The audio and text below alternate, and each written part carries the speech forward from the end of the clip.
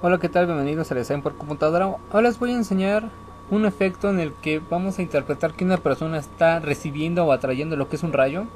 Y para comenzar vamos a abrir una imagen, pero cabe destacar que el resultado va a depender mucho de lo que es la expresión corporal que esté realizando dicha persona. Y les recomiendo que sea una imagen en contrapicada, esto quiere decir que sea de abajo hacia arriba la toma. Y en cuanto a la expresión corporal que les mencionaba, en este caso estoy apuntando mi mano hacia lo que es el cielo y mi mirada está hacia lo que es mi mano para reforzar un poco ese impacto visual que estoy atrapando lo que es un rayo. Y también le intentaré poner un poco de vapor o humo aquí en la parte de abajo. Y pues también podremos agregarle lo que es un poco de lluvia. Vamos a comenzar por en nuestra imagen seleccionar lo que es el cielo con cualquier herramienta de ya sea ya sea varita mágica ya sea lazo magnético lazo lazo poligonal herramienta de marco rectangular la que ustedes gusten.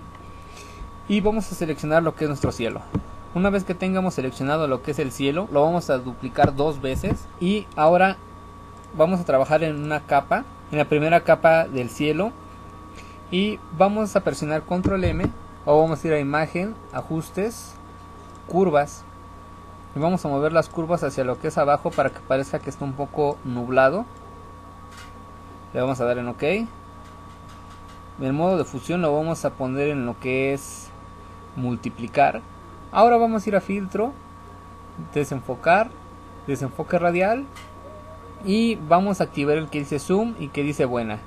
Vamos a aumentar nuestro, nuestra cantidad hasta un 86, un 90 más o menos y le vamos a dar en OK. Ahora vamos a activar lo que es la capa de hasta arriba, la segunda copia. También vamos a presionar control M o vamos a ir a imagen, ajustes, curvas. Vamos a modificar también las curvas para que parezca que está un poco nublado y vamos a poner multiplicar también en el modo de fusión. Ahora nuestra imagen base la que donde se supone que está la persona vamos a ir a imagen ajustes brillo y contraste y vamos a más o menos poner nuestros tonos a lo que es el contraste del cielo que no se vea ni muy brillante ni muy oscuro y vamos a dar en ok Ahora eh, vamos a combinar esas dos capas con control E, las dos capas del cielo. Y ahora vamos a hacer una capa nueva en donde vamos a aplicar lo que es un degradado. Y ahora va a ser un degradado que esté en un ángulo, eh, más o menos donde quieras que tu eh, rayo esté cayendo. Lo vamos a hacer más o menos así. Vamos a ir a filtro, interpretar, nubes de diferencia. Ahora vamos a presionar control I y vamos a activar control L que son las los niveles. Y vamos a aumentar un poco lo que es este el color blanco. Le vamos a dar en ok. Eh, vamos a disminuir un poco lo que es el relleno.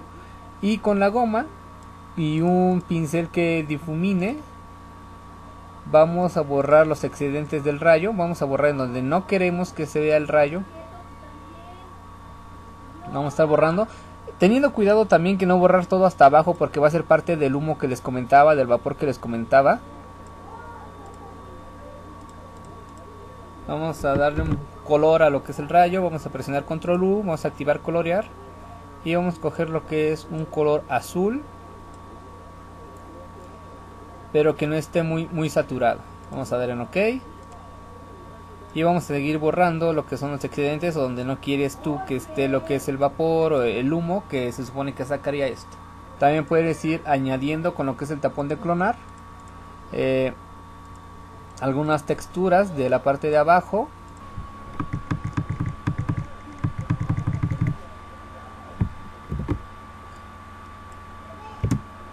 Ahora vamos a hacer una capa nueva rellenamos de color negro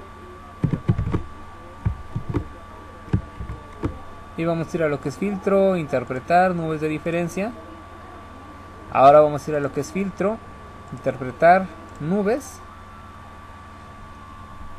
Y lo que vamos a hacer es seleccionar una pequeña parte de lo que es nuestra eh, imagen completa en esa capa. Vamos a copiar y pegar.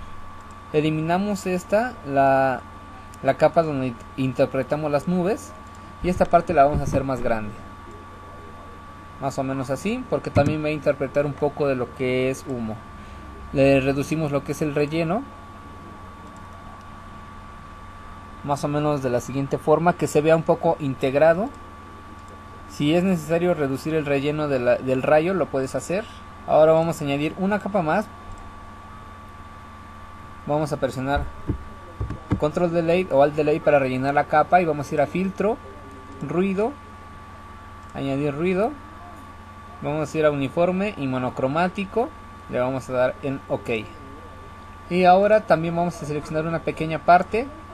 Copiamos y pegamos borramos la anterior y vamos a hacer también más grande lo que es esta eh, esta imagen esta textura así más o menos.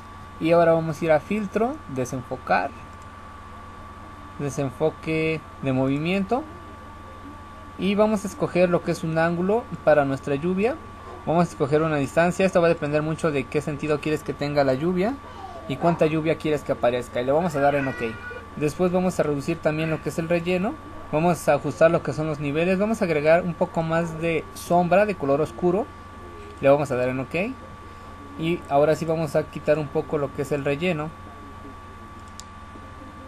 Es en este caso que quieras que tenga eh, lluvia en caso de que no quieras lluvia lo puedes dejar de la siguiente forma. Ahora vamos a combinar todo lo que es nuestra eh, imagen. Vamos a presionar shift control E y se ha mezclado lo que son nuestras capas. Y ahora vamos a ir a imagen ajustes brillo y contraste. Y ahora sí le vamos a agregar los tonos que uno desee. Eh, vamos a aumentar lo que es el brillo o el contraste pero ahora lo va a hacer de una manera uniforme aquí ya no va a eh, alterar únicamente el cielo o alterar únicamente lo que es la parte eh, del cuerpo eh, cabe destacar que aquí si es un día soleado lo dejes porque bueno que deje las iluminaciones porque pues obviamente cuando cae un rayo trae consigo lo que es una explosión de luz y por lo tanto va a estar afectando a sus alrededores, ¿no? Entonces digamos que yo quiero ese brillo o ese contraste, le doy en OK. Y si quiero añadir la lluvia, que ya les había mencionado, pues le agrego la lluvia. Y si me pasé, digamos que de textura, otra vez voy a seleccionar una pequeña parte, la otra la elimino. Y voy a aumentar el tamaño, más o menos de la siguiente forma. Disminuyo lo que es el relleno o la opacidad. Y aquí vamos a tener ya lo que es un efecto de que eh, digamos que se está eh, atrayendo lo que es un rayo. También podemos jugar con lo que son los, los niveles podemos jugar con lo que son las sombras. Y una vez que le hayamos hecho los, las modificaciones que tú desees pues lo vas a guardar como lo que es una imagen. Yo lo acabo de hacer de este lado y nos puede quedar de la siguiente forma. Yo lo guardé de la siguiente forma eh, dejé muy leve lo que es la lluvia, muy tenue. Eh, aumenté un poco lo que es el contraste de lo que es el rayo y dejé como había eh, mantenido lo que es el humo en la parte de abajo. Pues hasta aquí el video de hoy, espero que les haya agradado, espero que les haya servido. Eh, les quiero agradecer porque ya somos 2000 suscriptores aquí en Design por Computadora en YouTube por si lo estás viendo en algún blog de diseño externo. Acabamos también de cumplir lo que es el primer año. Aquí abajo te voy a dejar el, link de Facebook para que cheques mi trabajo como diseñador industrial y como diseñador gráfico. Y se te puede hacer cotización por cualquier trabajo que tú requieras que se te haga. Si les agradó el video pueden darle clic a los anuncios que les van a estar apareciendo a la derecha abajo o antes de cada video y así van a estar apoyando a Diseño por Computadora aquí en YouTube.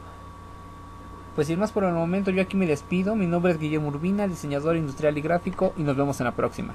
Hasta luego.